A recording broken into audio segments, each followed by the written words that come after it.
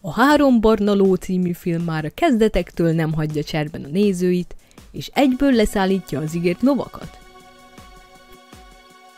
Főszereplőnk Peter hosszú idő után hazatér, és útközben találkozik Uncsi tesójával, a Józsival, meg a Jano Zápotocsnyival, akik épp Lengyelországból hozták a három pacit, már igaz útközben az egyik defektet kapott.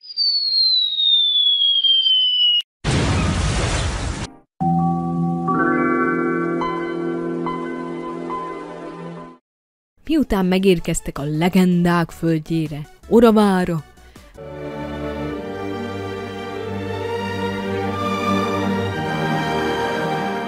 Peter egyből meglátogatja a régi kedvesének házát.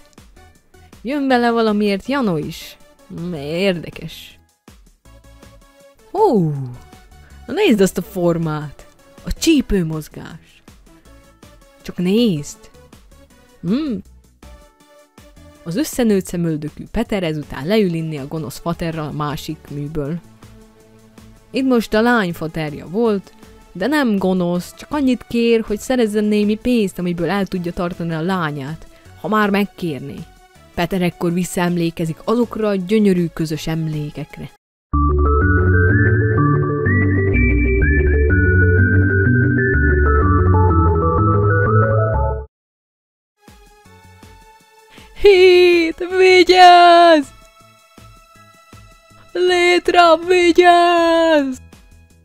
Kocsmában a szlovák Ethan Hawke leül mellé és megosztja vele a belső infókat, hogy a rugalmasan aznap este készül megkérni Magdalénát, Peter kiszemeltjét. Petik elmegy a Magdi után, aki ugyanúgy elment szép nőnek és szép férfinak is. A fiatal William Zapka a lómosást nézte, miközben azon gondolkodott, hogy melyik dojóhoz csatlakozzon – de ezután jelzett a póköztöne, és visszasietett a lányhoz. Sikerült megmenteni a bajba jutott lányt az elszabadult lótól, amit határozottan nem akart előtte megfejni. Miért csinált volna ilyet? Biztos, biztos csak a lónak volt rossz napja. Hm? Ki tudja? A lány jól beverhette a fejét, szinte látni lehet a kanárikat körözni a feje felett. Ennyi Jézus között úgy érzem, mint a démonűzése készülnének.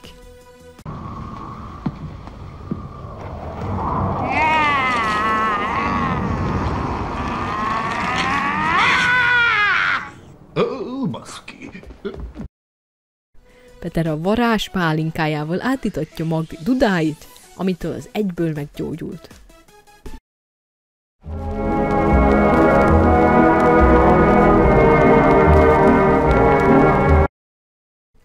Miután pedig elment, még az ablakon keresztül megirigyelte a család bőséges vacsoráját.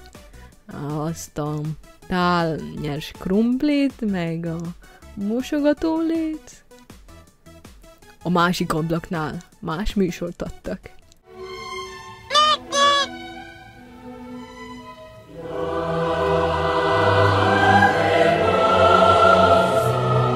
Jana, nyugi, vegyél már vissza! Nem mindenki kíváncsi arra, hogy hogyan tudod 180 fokba kifordítani magad.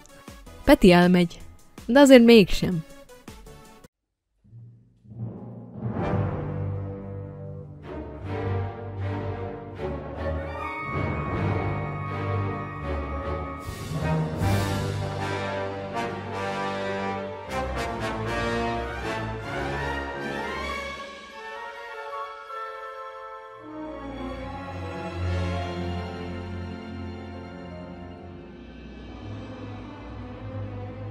Elviszi Magdit egy sétalovaglásra, bár úgy tűnik, Janu egy random nővel jobban el van, mint ők.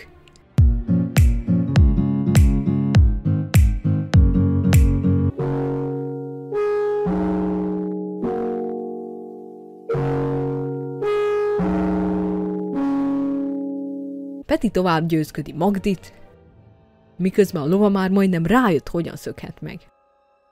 Aztán vannak ilyen random kacsák,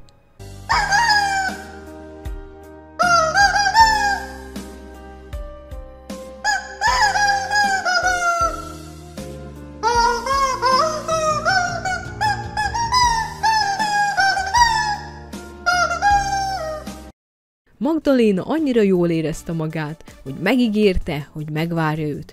Csak előbb szedje össze magát. Ezt kiszagolja a hipster Jano, és kinyílik a zsebében a bicska, és megpróbálja ezzel megvajazni Peter kenyerét. Kicsit nehéz megmondani, hogy most egy verekedés nézünk, vagy a túl a barátságont.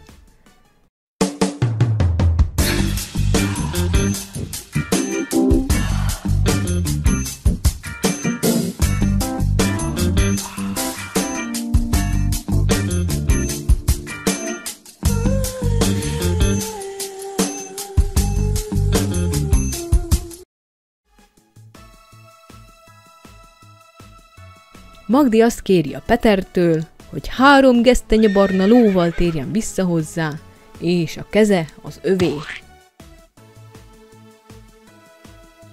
Janó ismét nyerekbe ugrik.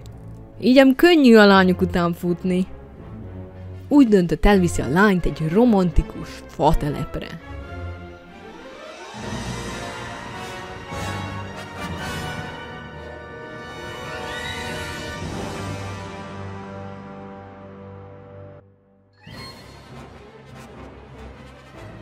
Ezután eltelt annyi idő, hogy Peter szerzett egy házat, némi pénzt és három lovat. Miután visszatért, leült egy kofolára a vallásos padláskocsmában, és ott megtudja a rossz híreket. Magdus kénytelen volt hozzá menni a Janushoz, miután úton volt a babus. Peter egyből elment hozzájuk látogatóba, de épp nem voltak otthon. Így kínosan leállt beszélgetni a szomszédasszonynal, és a pucérseggű gyerekével. Az a gyerek ma már 57 éves lehet. Vajon büszke lehet arra, hogy ilyen fiatalon már filmes karrierje volt? Mások csak álmodozhattak azért a szerepért. Ezután Peter pár furcsa lapátos fickótól kért útbaigazítást, akik nagyon nem tűntek megbízhatónak. Én így képzelném el a halál megtestesülését szlovák paraszt verzióban.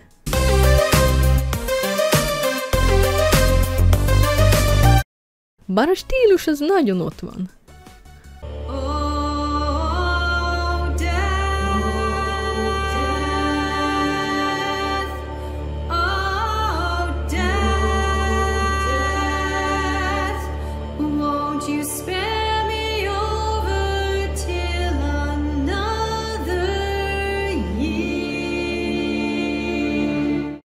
Ekkor Peti azt is megtudta, hogy Magdaléna súlyos lórúgás függősége nem fért össze a terhességgel.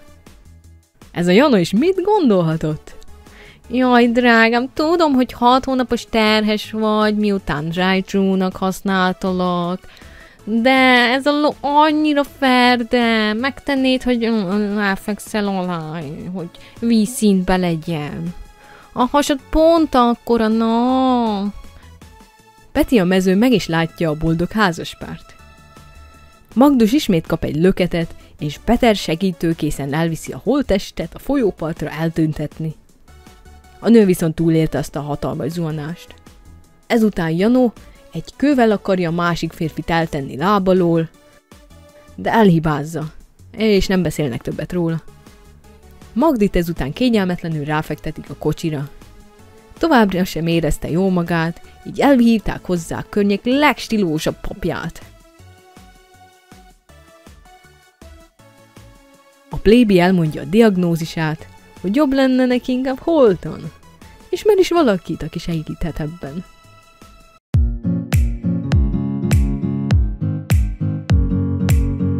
Oh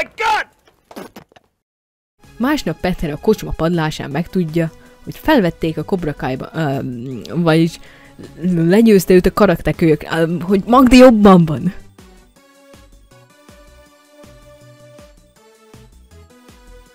Ethan barátja ezután elköszönt tőle, mert fontos dolga akadt egy másik filmben. If you ever want to stop the Fizzle Bomber, you'll never get another chance. Time, it catches up with us all. Janónak ezután az a zseniális ötlete támadt, hogy rágrafitizi a lovára, hogy tulok. Csak véletlenül elírta, mert szegényt az Isten adjon nem áldotta meg. csak rendkívül rugalmas csípővel.